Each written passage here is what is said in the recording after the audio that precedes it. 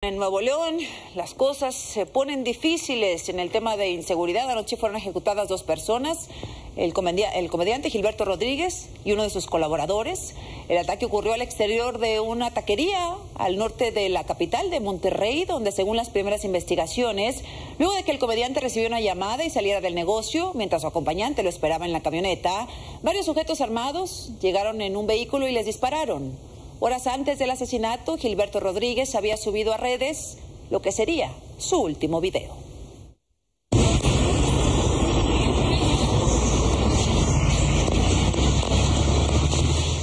Encuentra la mejor información de Milenio en nuestro canal de YouTube. Suscríbete y activa la campanita.